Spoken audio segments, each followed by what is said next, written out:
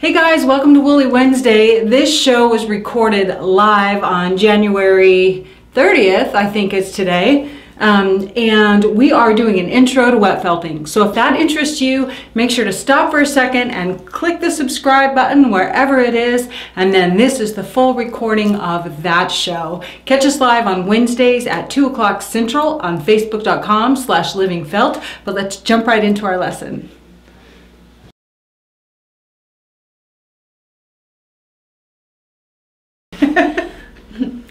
Hi, I'm Kayla. Hi, I'm Ann. Hi, I'm Hannah. Hi, I'm Marie, and we are coming to you live from Austin, Texas because it's Happy Woolly Wednesday! Hey everybody, happy Wednesday and burr! Oh, it's so chilly. We have been talking to some of our friends around the country today, and someone I talked to it was negative 25 Oh, wind chill factor. it's pretty good. What's it here, y'all? 40s? About, yeah. 50s. So like it's that. warm here. Y'all could come down here if you want. We're so glad to be with you today. We are doing uh, introduction to wet felting. What are you teaching, Hannah? What am I teaching? a little bit of everything. I put her on the spot. I'm just teasing. These girls have been working so hard getting all your orders out, so we know that there's like this polar vortex happening right now, and the packages are still leaving. U.S. mail reports they're still moving things in that direction. And for everybody else who has some sunshine, let's just blow it towards our friends. in the Midwest. we want you to know we're thinking about you Yeah. guys. so we're gonna have a tutorial today. What do you say we get, to get started? Thank you for being here, everyone, and welcome to Woolly Wednesday. This is what we like to do at least once a week is hang out with our friends for a live hour. This is meant to be interactive, so we hope you'll chime in, ask questions, offer your contributions.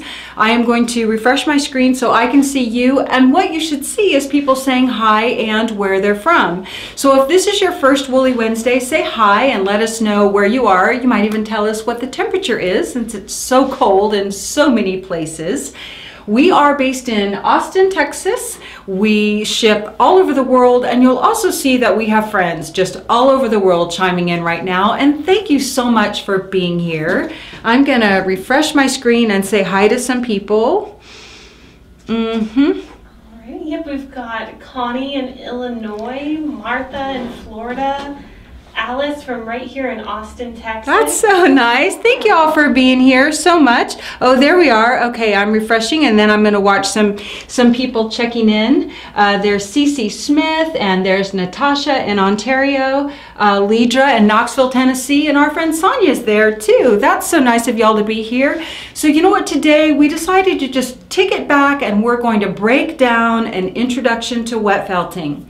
For those of you who have never wet felted, or those of you who are brand new beginners, or those of you who have kind of gotten started and you're, you're not very sure about your felt, our goal is for you to come away from today's session and make for your assignment, your fun work, a good piece of felt. We're going to look at some examples of what that might look like and what it might not. And we're even going to look at a variety of fibers that you can achieve that with. For people who already know how to make a good piece of felt, maybe the result of today will be for you that we offer you some insights of another way you might teach or phrase what you're teaching, or maybe you'll offer us some tips on how we can better convey the same concepts and ideas to help people. Wet felting is so easy and it's so fun. I find that um, it's really easy to want to jump into a great big project and know sometimes we'll get people who call us and say they want to make you know a four foot wall hanging to go over the back of their sofa or even for a community project and they've never even touched fiber. And so, what we want to do is encourage you to learn how to make good felt first, learn about your fiber and your tools, whatever you have, and use that as a skills builder and a samples library builder so that you know what to expect and you can make felt that fits your project. So, we're going to look at a few projects. Um, okay, so anything I should address just yet, Anne? She says not yet. Okay, thank y'all for being here. So before we look at some samples really up close and personal, I want to just show you a few of the things in the room.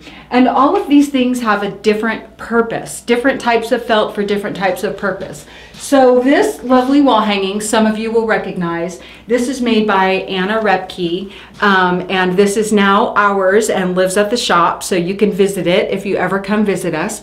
She came last week and taught us uh, her method for wet felting sunsets, and man, the results were just outrageous. We have uh, reposted the video on YouTube because apparently I had like a really long trail ending. Anyway, it's fixed. But this is a great example of what I mean by a purpose of your felt. So for this piece, this is light and delicate and doesn't need to be very thick because it can be framed, whether it's matted on a canvas like we looked at a few weeks ago or even hung behind glass. But it doesn't need to be too thick. It doesn't need a lot of weight to it. For something like a cat cave, you might want it to be really durable and hold its body. For something like a tunic or a skirt, or you might want them to be lightweight and drapey. Whereas a winter coat, you might want it to be really thick and warm. So we want you to think about the different purposes of your felt. For a purse or even a hat, you might want it to have a lot of body and be very stiff. Um, or for a scarf, you might want it to be light and drapey. All of these things can be felted and still well felted, but have different characteristics. So the type of fiber you use, how much fiber you use, and the amount of fiber you use is going to be different depending on that project. Good? Makes sense? So let's break it down. We're not gonna talk the whole time, but let's break it down and talk about that a little bit. There's a question that comes up often that asks, does direction matter when you're laying out fiber?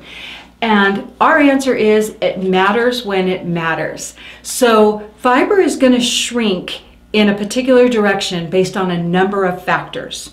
One is the direction of the fiber. And so I want you to know it absolutely does matter how you lay fiber out. An example is this tunic. This tunic has fiber laid out in multiple directions depending on how we want it to shrink. So if you want something to shrink more in this direction, you can lay more of your fibers going this way. And the fibers tend to shrink back in the length of their staple, which is the, the staple is the length of the fiber. In the breast section, we tend to lay it out almost in a circular pattern so that there's a little bit of ease so that it doesn't bind the breast but gives when you the wearer puts it on. And around the waist and the hips, we might do crisscross or there's more of a diagonal layout so that it shrinks less. So the way you lay out fiber does impact even if it's a batting, and we're going to look at some examples up close and personal. So when you think about a purpose of a garment, you want it to fit and you want it to be more fitted in some areas and looser in others. So you may change the way you lay out your fibers. If you're doing something like a picture, even if you start with batting as a base, if you lay out your um, if you lay out your imagery in the wet felting stage, like you're going to do the whole thing wet felted, maybe it has trees and a house, you want to control that shrinkage so that the image looks like you intended for it to look. So here's a quick example, and then we're going to break it down and look at some felted examples. Okay? Anne gives me the thumbs up. All right, so here's an example of a, of a picture that I got off the internet. This is someone's drawing. I'm going to look up where I got this because I meant I meant to put the artist. Um, so this is a drawing just of a house and mountains and some trees in the back. Let's say this was your goal, an 11 by 8 picture. You wanted the mountains to span this way and the house to be this way.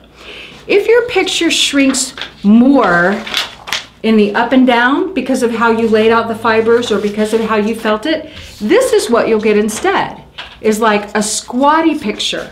Your picture gets more squatty and will distort. You may not mind so much on a landscape, but what if it was a face?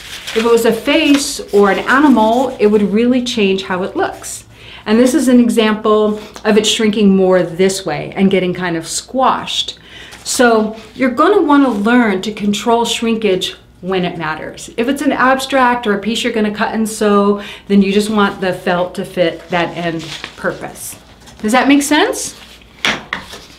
Okay, any questions so far? Anne says not yet. Okay, so we're going to jump into some little more um, tangible examples. We're going to look at a few different types of fiber and how uh, they're felted. We're going to look at tools and we're actually going to felt. So my goal is for no matter what fiber you have that you go away, not go away, you go do your homework and you make yourself a piece of really good felt. I have a variety of samples here on the table. The first purpose is to say, it doesn't matter what fiber you have in your stash right now. I hope that you will pull that out after today's lesson and felt yourself what you think is a good piece of felt. The first example I brought is uh, these are all felted with our MC1 batting. Some of you have worked with that. We love it for needle felting. We use it for wet felting, all manner of things. Uh, I like it for slippers also. Um, and these pieces are three different types of pieces. If you're really, really toe in the water, you might check out our wet felting a bookmark video, which is essentially making something that looks kind of like this. We also did this last year. We wet felted um, backgrounds for doing greeting cards. And I looked at it, we did a real quick video and we wet felted this piece. So when we have felted something to a nice degree, this is medium felted, I would say. It's not hard felted because I could still stretch it a little bit. But I want you to notice that I couldn't pick it apart. I mean, it is a piece of fabric. It's not getting fluffed up in my hands or roughed up in my hands. You can cut it to a shape. Uh, and we've even incorporated some other fibers and yarns, and this is a fabric and yarns in there. And this is what we make our bookmarks with. We used the same basic thing just to needle felt a little daisy picture last year. So the idea was to make a background. This is an example of that stuff not felted. And that means I could kind of pull it apart. See how it kind of comes apart in my hands and it's all lofty and loose? This would pill a great deal if I tried to put it into action. If you're putting it behind glass or sticking it up on a wall, that's one thing. But if something is too fuzzy and you put it on the wall like art, it's going to collect more dust and it's a little bit more difficult to clean. So our goal is to get something really well felted that you could cut and that will not just rough up and pill in your hands. Okay? Anne gives me a thumbs up. If, if we're going through things and you want to see anything uh, back again, let me know. Now, on the same, sticking with the solid examples, these are two completely different fibers. One is a 19 micron merino top, and this one is like a 30 micron uh, crossbreed. The thing about these is when you think about purpose, it might be how does it feel next to the skin? Or how does this thing pill over time with action? Something made with a 19 micron short fiber bat is likely to pill more than something made with merino top. Merino top uh, has a longer staple length this is an example of the staple length, whereas a short fiber bat is actually sometimes been cut and sometimes it's a different kind of merino, which is just very short. The more short ends, the more likely it is to pill. So when you think about the purpose of your item, you might also think about the quality of the felt. How does it feel in your hands? Does it feel durable? Does it pill? Do you like how well you're, how easily it felt or how difficult it felt. Um, and making samples is a great way to kind of play with different fibers and also see how much they shrink. Shrinkage can be really important, especially if you're making something like we shared, like a tunic or a hat or even a wall hanging that you want to stretch. You want to know how much something will shrink we have a shrinkage calculator online, which is designed to be like a skills builder. So you can start with a square and then go to a trapezoid, which might be like a skirt um, or even a tunic for that matter, or a hat, uh, and then get to more complex shapes. And that's for people who use Excel. Otherwise, you can just, you know, use your little calculator on your phone or whatever. But I want you to think about making a sample to evaluate the quality of the felt and how it feels in your hands. Once you kind of get to that point, you can also start to play with different design elements. These are examples from a felt a felt along we did over a year ago now, where I think it was over a year ago, where it was like, I don't know, one or two hours in the evening, we all felt it live together. And what we did is we added different design elements into our work just so you could see how they behave. So it really was a samples class. And these are um, these are mohair locks, and this is a wool lock. Silk hankies are in here. Uh, Angelina fibers. So you can always make yourself a little test swatch and see how do I like my colors together? How well do these fibers play together?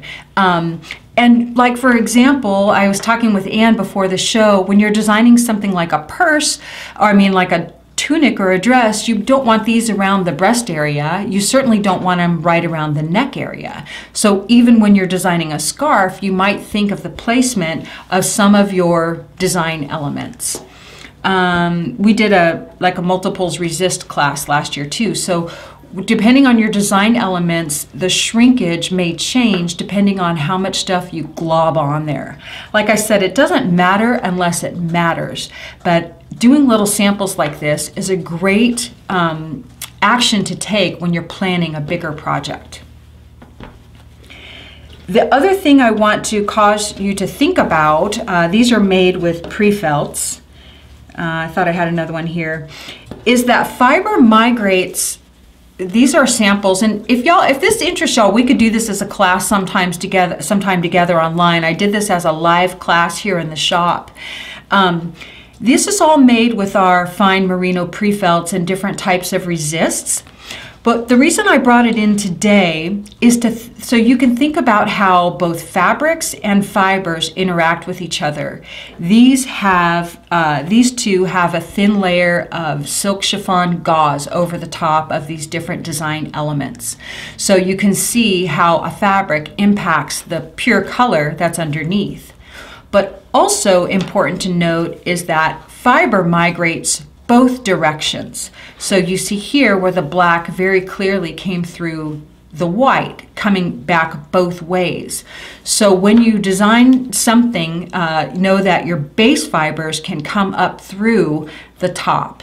And if you make a sample, you can evaluate whether you like the marriage of the fibers that you're bringing together. Do you like what they do together? They might change the color. We call this a halo when the fibers come through the other side. Sometimes it's white coming through your black. So making a sample, I think, can be really, really helpful to uh, help you evaluate and just play even. Just play.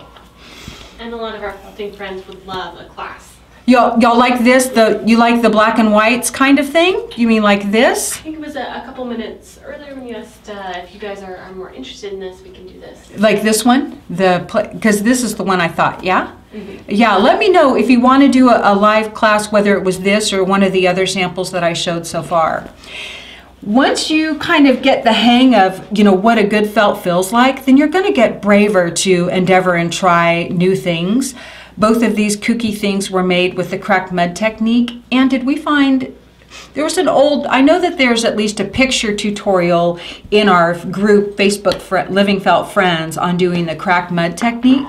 Um, and this is just a play on that. There's so many ways you can go, but these are just some fun variations. And my encouragement is learn to make a good piece of felt that you can cut first. So I'm going to show you one more uh, set of samples and then we're going to jump to something looking at shrinkage. Okay, on this set of samples, these are nuno felt samples. And so what we have here is a this was like a thrift store silk with yellows and oranges and I was evaluating how did the floral pattern change I don't even know what this flower is a rose or something um, I wanted to see how did the floral pattern change when I felted it and do I like it Um, and sometimes you buy like a mystery fabric at the thrift store and you don't know whether it's silk or whether it would work. So you can make little samples and see this puckers nicely and this hardly puckers and this two colors I don't like how they play together. These are actually two different types of silk. One's a habotai and one's a, a gauze or chiffon. So um, you can mark your samples and save little bits and ask yourself, do I like this before you, or does it, do they even felt together before you lay out a whole big shawl and decide that you absolutely hate it? Um, and lastly, I've shared these pieces before. These are just two examples of one piece felted and one piece not felted. This is actually semi-felted to what we would call a pre-felt. Pre-felts can be made by you or they can be machine made. They can be made with fine fibers or coarse fibers. Again, it's going to depend on the purpose. The fine fibers we often cut and make them into design elements. Um, like these pieces here. These are these are pre-felt pieces underneath this. So um, I just wanted to show you, for example, a shrinkage difference and for you to see that, you know, a pre-felt could be cut to a shape, but potentially you could also kind of rip it apart. So if your felt is in this state, or if you can still see the grains of the fibers as they're running through there, it's probably not felted enough. You don't want to be able to pick it apart. And we're going to look at how you evaluate that during the felting process. If you can felt it really well and you can still see the grains of the fibers, then you want to practice your layout a little more. And that means thinner and thinner layout. Okay, last thing on these sort of prefab samples, and then I'll let pause so y'all can ask me questions. I want to show you these two pieces. Um, one is more square and one is a little more rectangular. These are both made with our core wool batting. And I made these just for you today because the question often comes up, does it matter? Like, can you just lay down batting and it will shrink evenly in all directions? And I want you to know that when I first discovered batting, that's what I was told. That's what I learned. It didn't really matter. It is a very fast way to lay something out. Uh, for y'all don't know, this is this is our core wool. This is what I felted it with. It's a big lofty bat. I'll take this apart so the fairies can relabel it. it's a big lofty bat. We sell it in an eight ounce increment. Uh, we do have a fiber preparations video for those who are not familiar with what I'm talking about. But this gives you an idea. This is the stuff that I felted this with. Here's what I did. I took one ounce of this big fluffy stuff and I laid it out into an eight inch square. Same on both pieces. One piece, this piece, I just laid the bat down in its one direction bat, a bat, even though uh, how a bat is made is all the fibers, they're like little locks or whatever size locks, they just go into this hopper and then up on a great big drum carder. So in a sense, the fibers are all mixed up and they make this big beautiful bat. You, but when you look at it, you can kind of see there's a grain and it runs this direction. The tendency is just to lay this down and felt whatever. But if you remember the house example we gave just a minute ago, what would happen if you were doing that landscape scene here is it would be squashed. I put this marker to indicate this was the direction of the fibers and I only laid them down in one direction. And this, by the way, was stacked to about three inches before I started felting it uh, because I laid it out in this eight inch square right here.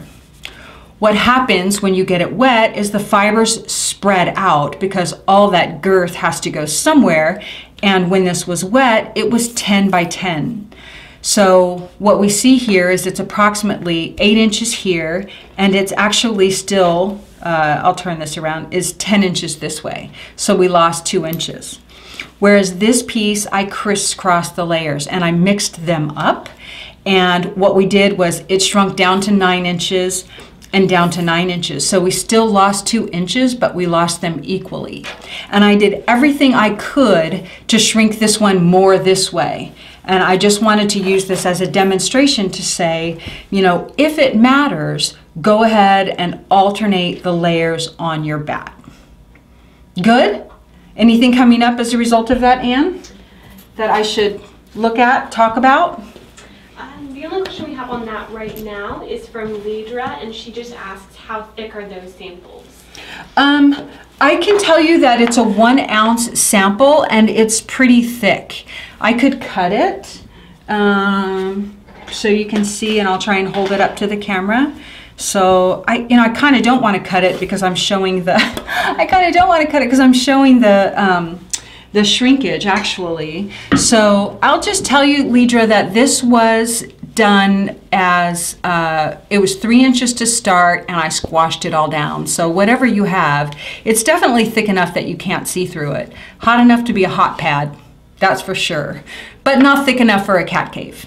You know, it just doesn't have that much stiffness. See how it kind of is still a little limp. Okay. And uh, Lois shares, I love that demo, it helps. Um, Jenny shares, I love this info. oh, cool. Okay, I'm glad it's helpful. I cannot see y'all's comments, so Anne's just going to read them to me. And we're on a much longer delay than we usually are. Oh, okay. So then I'll just, we'll just be patient. Okay, so what we have here, this is just my work surface, which is one good old towel. And what we're going to do is we're going to lay out some fiber I'm going to lay out some merino top and we're going to look at the things you need for wet felting, which are pretty basic. So one thing I like is an old towel, two is fiber, three is a good olive oiled soap. Uh, this is the fiber we're going to be felting today, which is like, I guess living cor coral is a really hot color this year, so this is what we're going to felt. And we're going to do a bit of cooking show felt so that we can get to the fulling process. I'll explain that. Um, you need something to wet your fiber. You can use a bucket. You can use a bottle with, thank you, Anne, with holes drilled in the lid. You can use a ball brause. I like to use a sponge often, and if you felted with me, you know that.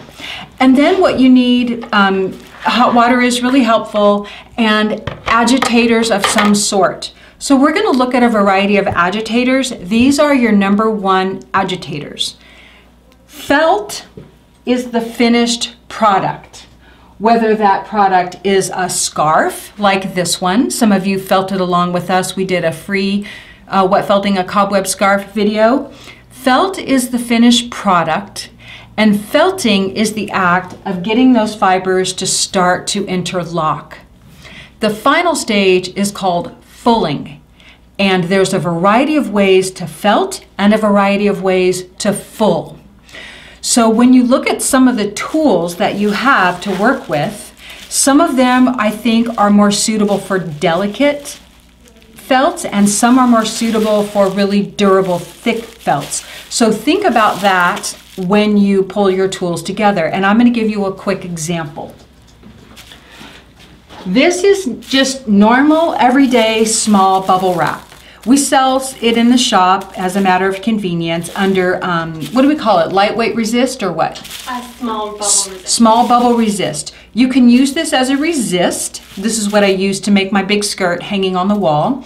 Or you can use it as a agitator. And, the, and in that case, you can put it on the bottom or top or sandwich your work, whatever. We also have something called super bubble, which is thicker more durable. It's like the spa cover. Uh, you see us using it blue a lot, but we decided to get clear so it doesn't sort of compete with your designs. This is a more aggressive agitator. If I'm going to do anything thicker than a thin delicate, I jump to this stuff because I really like the resistance it gives me when I'm felting against something. You often see people felting with a pool noodle. So I'm going to pull out some of these type roller bar agitators and let's talk about them for a quick second.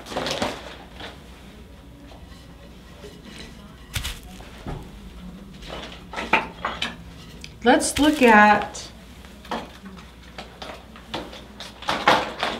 let's just look at these things right here, okay?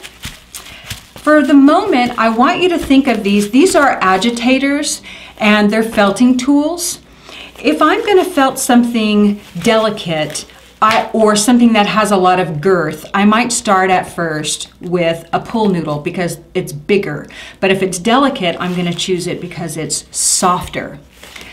For something like a nice, delicate scarf, I'm not going to use something like these awesome Nikki and Nikki tools unless I use it through the bubble wrap because it's very aggressive and has very sharp edges cut into it.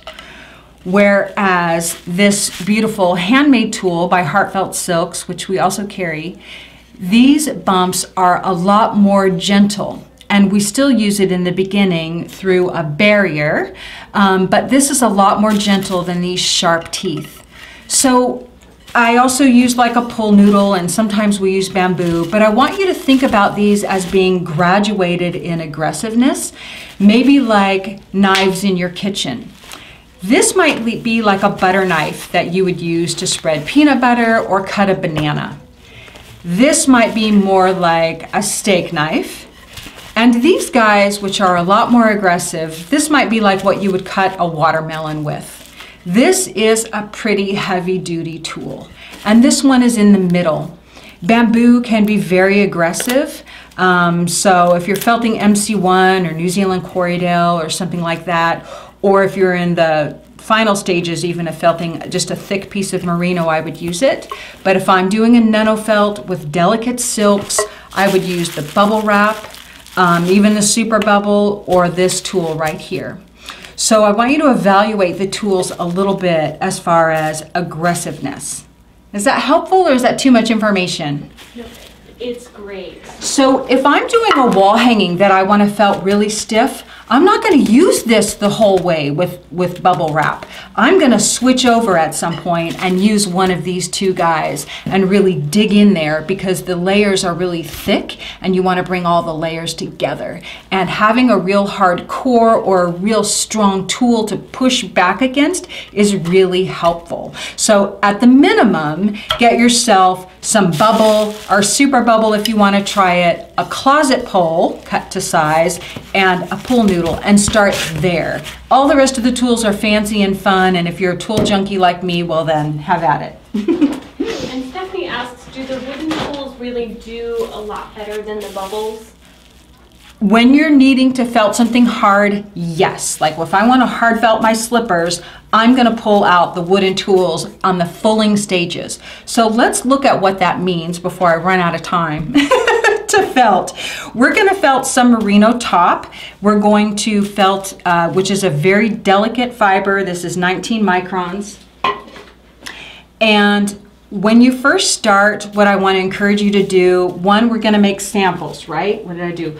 If we're going to make samples, I want you to start with a measured size. I usually cut out a piece of resist or something, uh, something that I can see underneath my plastic so that I have a starting size. In this case, I'm gonna go to, let me turn this the other way. I'm gonna make this like an eight by eight.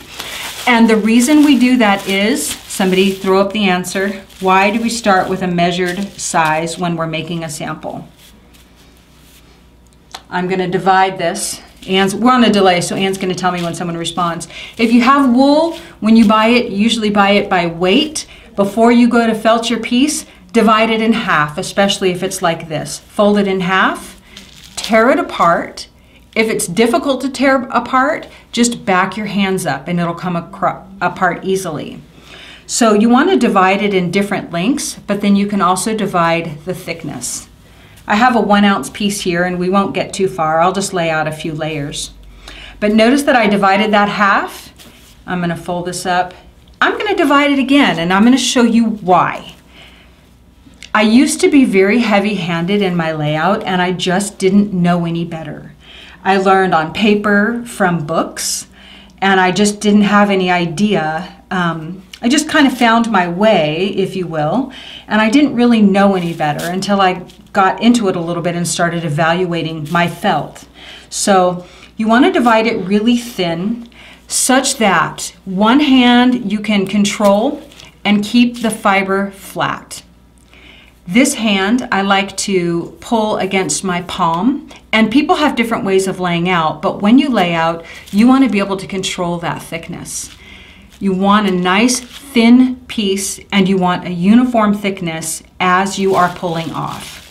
So where's my, my eight inch mark? I'm gonna go to about right here.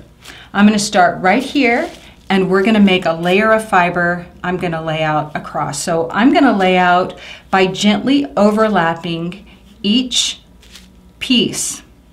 I like to go across, sort of facing myself, and there's just a slight overlap with each piece. Alrighty, and a lot of our felting friends guessed the um, purpose of the starting off with, with defined measurements. Wendy Taylor was the first to Whoops. calculate shrinkage. That's right. To calculate shrinkage, I've already gone over. I forgot I'm making a little piece. Okay, I'm going to make an 8 by 8. Okay, so I'm going to make an 8 by 8. I'm going to go here to here. And when we go across this next layer, you want to go, you can go about half or a third up the, the previous row that you created. Every time you lay something out, you kind of, fl I flick it a little bit because you don't want these little ends to curl underneath themselves. And if you're unsure, like if it seems a little uneven, just peel that off and like what you lay down if you feel like you got a little too much. More thin, even layers are better than great big bulky layers. And like I said, I, I didn't know that in the beginning. I probably would cringe if I watch back some of my old videos of how I laid stuff out, but I didn't know. So I guess I just knew, I knew what I knew up to that point. We all know what we know up to that point. So nice, thin, even layers as much as possible.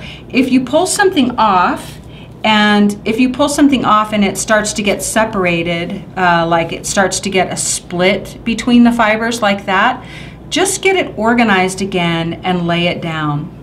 You can always lay down two little shingles if you need to. Um, but remember that you're in control of the fiber and making little samples like this will give you good practice it can also familiarize you with a fiber, like how easy it to lay out, lay out or pull off. Now, notice that I've been kind of laying this way. When I get to this end line, I'm going to be right here, I tend to kind of go backwards because this is the more wispy end, the more uneven ends, and this end's a little more straight where I pulled it off. So I tend to kind of flip when I'm on that last row backwards.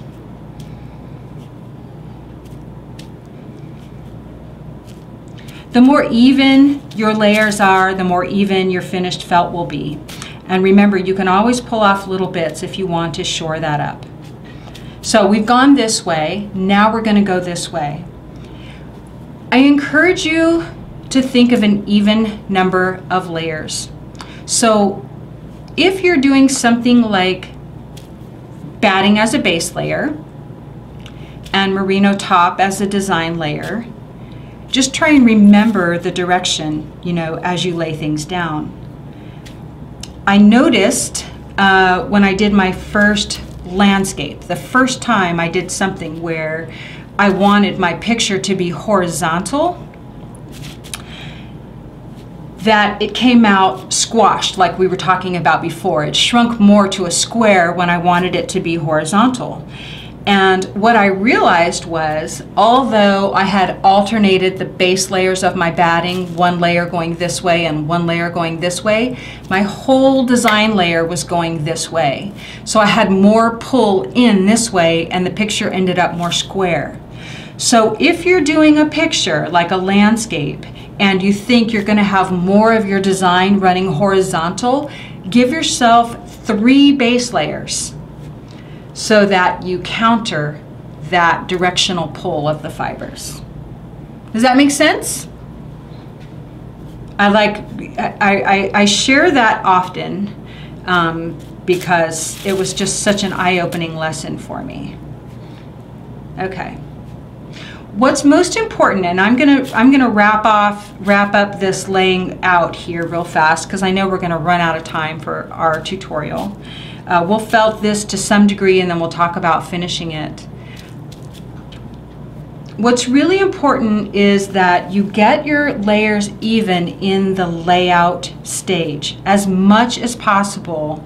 This is where you want to feel and make sure everything is even, you don't have any gaps and you don't have any holes, is in the layout, in the layout stage.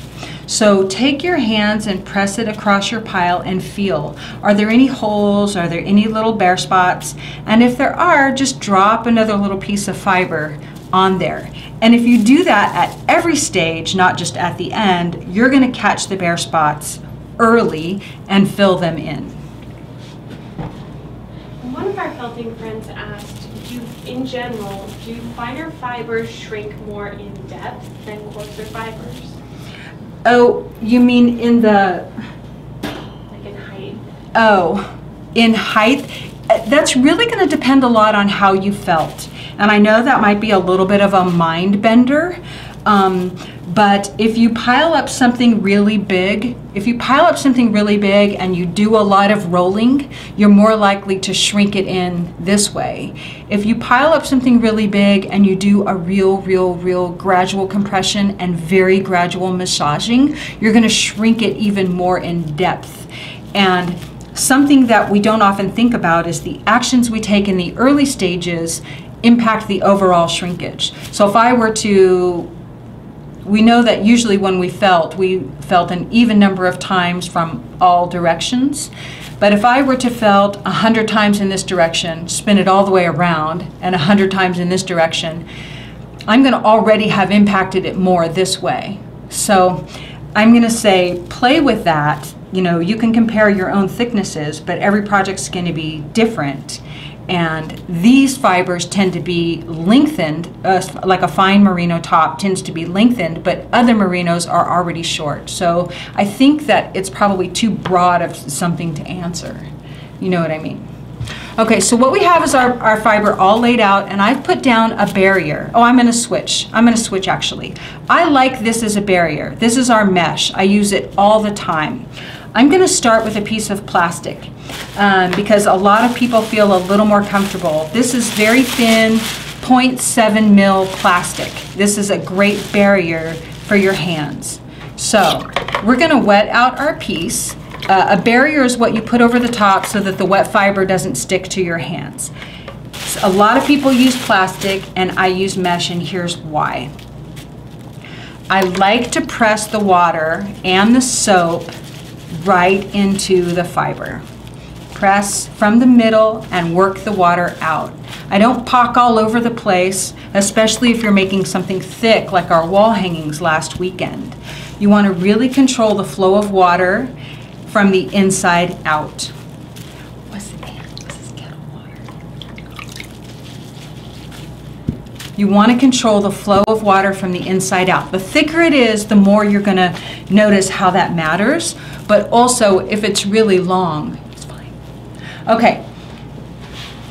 When I felt, and this is just the way I felt, it's just the way I learned. The first thing I like to do is form a surface skin. The surface skin is a very flat hand, and my hand's just gliding across the surface. Just sort of getting that top to sear itself together. You want to be so gradual that no fibers are shifting underneath and they are not sticking to your mesh. They shouldn't be pilling up through the mesh. If you see it pilling, starting to ball up, then you're going too hard. Just add soap to your hands and massage. And go ahead and massage like an even number of times, meaning like this way for a couple of minutes, this way for a couple of minutes, in circles. If you're felting something super thick, it's going to take more effort. If you're felting over a resist, it's going to take more effort. And that's why I say start small. I think of it like when you teach a kid to cook. When you first started to cook, the first thing you baked wasn't a wedding cake. Probably the first thing you made was more like eggs or pancakes. So we're gonna call this the pancake lesson. I want everyone to learn how to make a really good pancake. And then you can work yourself up to the wedding cake. so that's my that's my suggestion. Start small and learn how to make a good felt first. Educate your hands into how it feels as a fiber progresses and goes from mushy and loosey-goosey like this to a really good felt. So once you kind of have a surface skin formed and we have like all of the air out, again, it's a thin project so we get there fast, then we're gonna roll. If you're new and you're concerned about uh, your fiber sticking to the mesh, then you can switch to the thin plastic. Some people um, just love rubbing through this plastic and some people don't like it. Some people even wet out with the plastic, so you'll see that on videos too, that instead of the mesh, they just use this and they push the water through. What you want to do if you're working with the mesh is get the top of the plastic wet and your hands soapy so that you can rub all over. You could felt something 100% just rubbing with your hands. You absolutely could, and I've done it with a very large wall hang. Well, very, I don't know, 40, over 40 inches wide, and I don't know, how many pounds did we say that thing weighs? Four pounds or something? I think about four pounds of fiber. And it was just rubbing, rubbing, rubbing, rubbing. So you could felt just this way, and you could also just roll. The plastic is just good uh, if you maybe are concerned about being too aggressive. I'm going to spin this around and we're actually going to use our pool noodle. Should I take any questions, Anne? We doing okay?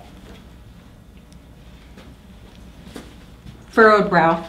She's thinking. Here's what I, I have a little rolling towel and I'm going to show you how I use this. So I'm going to roll out my piece around the bubble wrap. I'm going to roll it all the way tight. And what you want is this to stay in place. You can use fabric ties to hold it in place, but sometimes if the project is small, I just use another towel or a sheet or something like that. Something that will just kind of help me lock it down.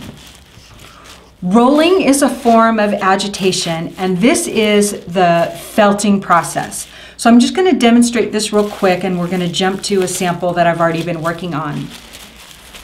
You'll see in books and a lot of traditional uh, felting classes that we kind of roll from elbows to fingertips like this. When you have a small project, you can also roll like this. And you want to learn to count. This is how I usually count like 1, 2, 3, 4, 5, 6, 7, 8, 9, 10, 11, 12, 13, 14, 15, 16, 17, 18, 19, 20. Quarter turn. So when you see me say quarter turn on your axis, this is what I mean. So a new part is laying down. 1, 2, 3, 4, 5, 6, 7, 8, 9, 10, 11, 12, 13, 14, 15, 16, 17, 18, 19, 20, 1, 2, 3, 4, 5. If you do this so that you roll a hundred times from this direction, what you will do is unroll it, be gentle. Oh, your plastic might get stuck. Get your plastic, unroll it, and then you're gonna give your project a quarter turn. So if you have plastic or if you have mesh, you can peel it back. If you have plastic, you can lift the whole thing. Give it a quarter turn and do your 100 rolls from all four of these edges. Then you will flip it over and repeat. And that's really important to flip it over and repeat.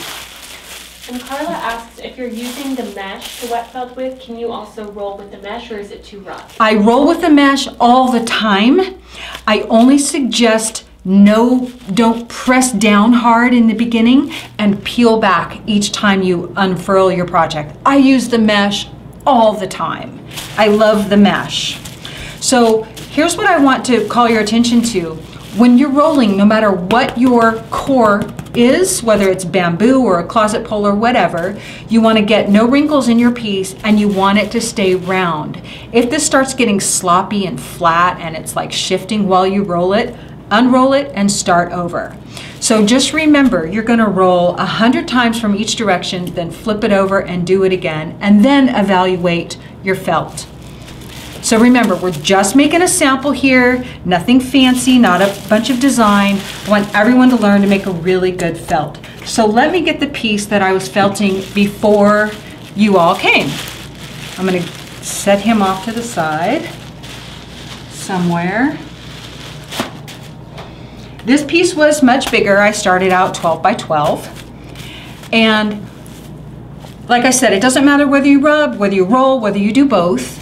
You want to get to a point where your fiber is like a bit of fabric, even if it's still delicate. That means if I pinch it, the pinch test is like if I pinch it, it's going to tent up, as opposed to me being able to do this and pick fibers apart. If you can pick fibers apart, continue felting. This is considered a soft felt. You could go any direction you want at this point. You could even start to shape it over a bowl or, you know, start getting it to become something else. Or you could really kick it up a notch and increase your agitation. Some people never switch to the super bubble. I love the super bubble. I love the super bubble. What I want to show you is a few different ways to full once you get to this point. So one is you could roll, where's my, you could roll just on your closet pole you could get to a point where this is nice and flat and you're just pressing and rubbing and pressing and rubbing. These bubbles are pushing against and you're pressing against this closet pole.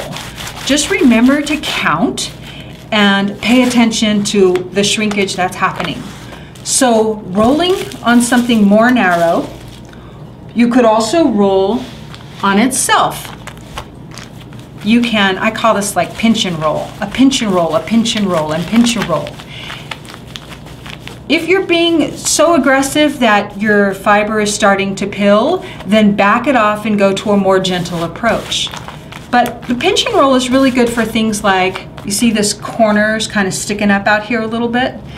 If you have a corner or something that you want to get to shrink in, then grab a hold of it and pinch it in. And you can even just rub that part just by itself. We would kind of call this spot fulling.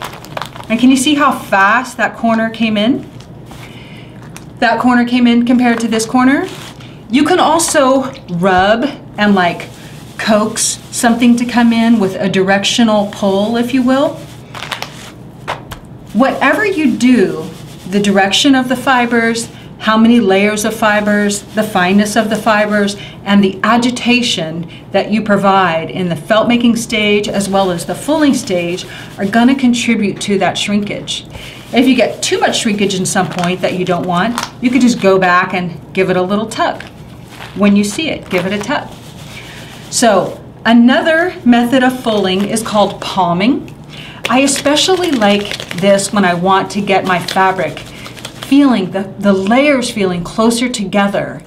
If you go like this to your fabric, no matter how thick it is, a wall hanging, boots, hat, a purse, and you can feel those layers shifting between each other, you need to get them to bind more together. So you can do this palming. And I like to do it all over. And something like a cat cave, I'm up to my elbows in this thing. Here's what I want to tell you. There's lots of methods for fulling and felting and making stuff, but if you start to build your skills on thin little pieces like this, then the rest is going to come come gradually and you'll understand the fiber more and more as you work with it. My goal here is to make a piece of fabric that's durable enough that I can cut it and sew it into a pillow or something like that. So we've looked at rolling, we've looked at rubbing, we've looked at what I call the, the pinch and scrunch, and we've looked at palming. Other methods for fulling include, I call this wadding. Wadding, you really start to change the direction of things. So I wouldn't do any wadding until your felt is really progressing. If you do this too early, you're really gonna rough it up. Some people do hot and cold rinses and some people swear against it. It's considered shocking the fibers. Throwing, like wadding it up, it's wet, and throwing it is also a way of shocking the fibers. Some people hate it. Some people do it in the dryer. They would take their wet piece and roll it around something and then put it in the dryer without heat and let it bang. That's the same idea. If you put something in the dryer, either plan to lose all control of the shrinkage or control it by rolling it up around something and binding it before you do it because it really does tend to cause the fibers to crimp and if you don't bind the shape then you could really lose control of how it shrinks. Don't throw it in the washing machine because it's going to pill. It's not like something that's been knitted uh, and then fold this is the fulling stage so i wouldn't throw it in the washing machine unless you really felted the heck out of it and you're making it for something that you intend to wash and shrink. So what am I not thinking of in the fulling? All right, well, um, someone asked, is there a certain amount of shrinkage that the project would need to have to, for it to be considered in the fulling stage? Um, no, because all your fibers are going to be different, the thicknesses are going to be different. I would say start to learn if you take the fiber that you're working with and if you felt it to the degree that the fabric meets the quality you need for the end project, then you measure that shrinkage and you give yourself a target. But the key is you got to use basically the same fibers, the same layout, and the same layers, you know, of fiber to know what that shrinkage is. On something that's 100% merino, you could get 50 or more percent shrinkage, or you could get 30% shrinkage and still have a good felt. Like my skirt, in some areas it was shrunk 50% and other areas 30, but that was planned in advance with the layout. So I would say that's it's not that cookie cutter, but the, the good thing to know is what's the felt, the quality of the felt. If you think you're there, rinse it and set it overnight and then check the quality the next day. The first rinse is always really telling, but the next day is really, really telling. Most of the time, you definitely could keep going. And my goal today, again, is just to get you all making one good piece of blank, plain felt that's a really good quality that you now have a target you could shoot for. I think that's all I have. Quickie, I know, but long, long and drawn out nonetheless. So we're going to turn the cameras up, and I know we're out of time, but I'll see if there's any questions I can answer. Question Sherry J says, if you're using this as a piece of pre-felt, would you stop at some point? So the answer is absolutely yes. If you're trying to make pre-felt and you might use your same fiber and make a piece of pre-felt first, just use like two very thin layers and maybe roll it like a hundred times and that's it, and a very gentle process. With a pre-felt, you just need it holding together. But I would say still test it. So cut it, uh, you know, test that pre-felt if the project really matters, and that is to make the pre-felt, let it dry, cut it, and then incorporate it into another sample and see how do the fibers play together and how do you like it. And um, someone says,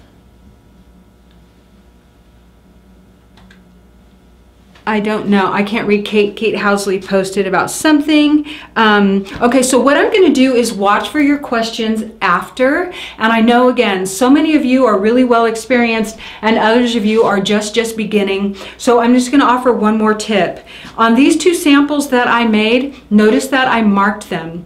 This one, I put a up and down line to show uh, what was the grain of the fibers, but I also put it on the top so that I could count how many times I had rolled from an edge as well as a side. And pay attention to where that is in case you stop and start, the kids interrupt you, it's time to go make dinner, whatever your best friend calls.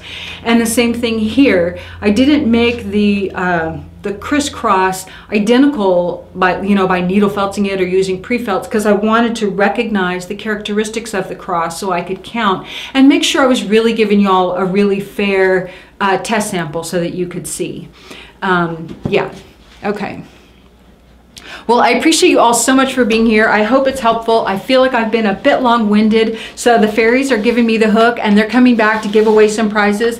For those of you who don't know, everyone who contributes during the show, your name goes into a bowl and we give away prizes at the end. So we have some really fun prizes today. We're excited to give away. Come on in, gals.